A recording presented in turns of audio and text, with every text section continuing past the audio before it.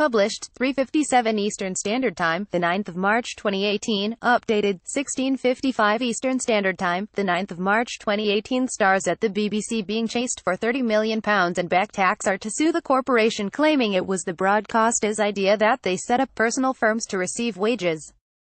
The employees say they were pressured by the BBC to set up personal service companies, PSCs, and threatened to revolt last month. The move meant the corporation was able to save millions of by not having to pay national insurance contributions, but it has now emerged that lawyers will argue the BBC did not do enough to explain the financial risk to its employers.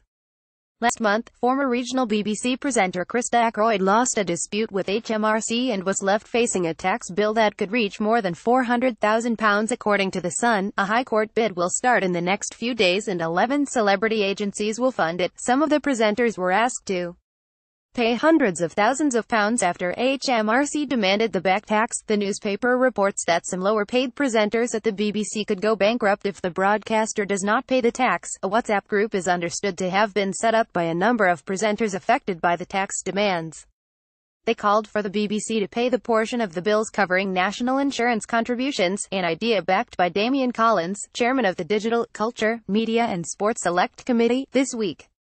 It comes ahead of three other BBC presenters, newsreaders Joanna Gosling, Timms Willcox and David Eades, heading to court to fight a joint tax bill of nearly £1 million. The employees say they were pressured by the BBC to set up personal service companies, PSCs, and threatened to revolt last month. A preliminary hearing heard the trio pressured to set up PSCs if they wanted to continue working with the BBC. Last month, former regional BBC presenter Christa Ackroyd lost a dispute with HMRC and was left facing a tax that could reach more than £400,000, the BBC told Mail Online, we're not aware of any case being lodged with the court prior to 2017, where an individual had a personal service company it was their responsibility to pay the correct tax. However, HMRC introduced new rules last year and we're committed to supporting all our on-air presenters through this transition.